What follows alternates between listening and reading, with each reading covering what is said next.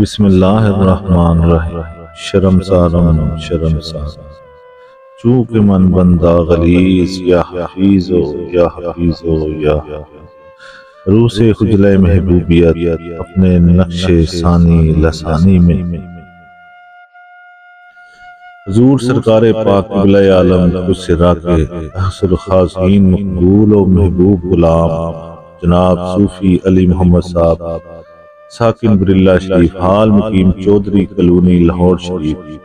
جنہوں نے پرورش حضور پاک کے دولت قدہ مبارک میں آپ کی والدہ محترمہ حضور کی بلاگاہ بے بے چیز صاحبہ رحمت اللہ علیہ کے پاک قدموں میں پائی۔ اور حضور کو نور کے حلقہ رات میں شمیلیت سے مشرف ہونے کے بعد اپنی زندگی کا بیشتر حصہ حضور پاک سرکار علی رحمت اللہ کی خدمت میں رہے۔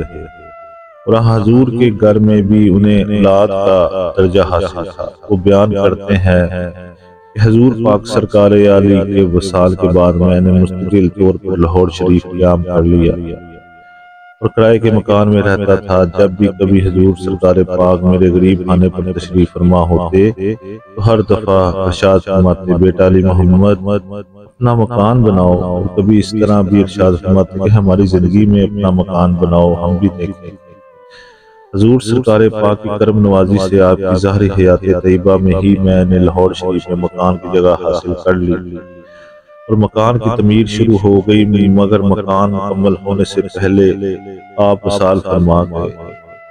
مکان مکمل ہوا اس میں سامان آرائش و آسائش مکمل کر کے جب میں نے نئے مکان میں رہائش منتقل کی تو شام کے وقت میں حضور پاک سرکار علی رحمت اللہ کے روز مبارک سے حاضری دے کر کھا رہا ہے۔ تو میری بیوی نے زردہ پکایا ہوا تھا۔ اس نے زردے کی پلیٹ جب میرے سامنے رکھی تو مجھے حضور پاک کا فرمان کریمانہ یاد آ گیا اور میری چیخیں نکل گئی۔ اور میرے گھر کے تمام افراد اس محسن اعظم کی یاد میں پھوٹ پھوٹ کر رونے لگے۔ لگے۔ کہ آپ کی قدموں کی بدولت کتنا اعلیٰ مکان ہمیں مل گیا۔ اور اس میں سائش کا ہمارے لیے نہایت اعلیٰ سامان موجود ہے، مگر حضور پاک کو اب ہمارے گھر تشریف نہیں لائے گئے۔ اور نہ یہ مکان دیکھیں گے۔ کافی دیر تک گھر کے افراد روتے رہے اور آخر روتے روتے ہی سو گئے۔ کسی نے ایک لقمہ تک نہیں کھایا۔ نماز فجر کے بعد جب میں اپنے وظائف کر رہا تھا تو اچانک باہر کا دروازہ از خود ہی کھل گیا اور میں سہن میں آیا تو ایک سفید رنگ کے گورے، رنگ کے خوبصورت گھوڑے پر حضور آقا نعمت صاحب زادہ محمد رفیق اللہ صاحب مجز سوار رونق روز ہوئے تو آپ نے سہرہ باندھا ہوا تھا۔ گھوڑے کی ہاگ حافظ صاحب پکڑے ہوئے تھے۔ میرے منہ سے زور سے نکلا، بسم اللہ، میرے سرکار آ گئے۔ گھر کے تمام افراد جاگ پڑے اور آپ کے آپ کو سلام عرض کیا۔ حضور پاک صاحب زادہ صاحب مجزلہ کمرے میں تشریف لائے اور فرمایا، کھانا لاؤ، میری بیوی نے چاول گرم کیے تو آپ نے پلیٹ منگوائی اور چاول ڈال کر سب کو دیے اور فرمایا، کھانا فرمایا، کھاؤ۔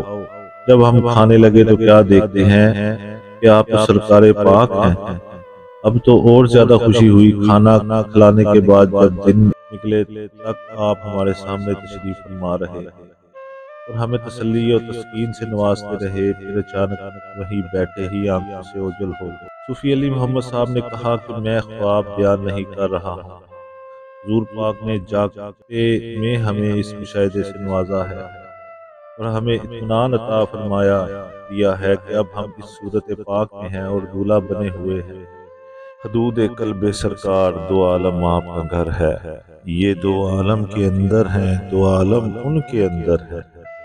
آؤ اسحاق سے پوچھے ہیں، کس کی جلوہ ارزانی؟ یہ کیوں دن رات میلہ شہ رفیق اللہ کے گھر ہے؟ جزاک اللہ۔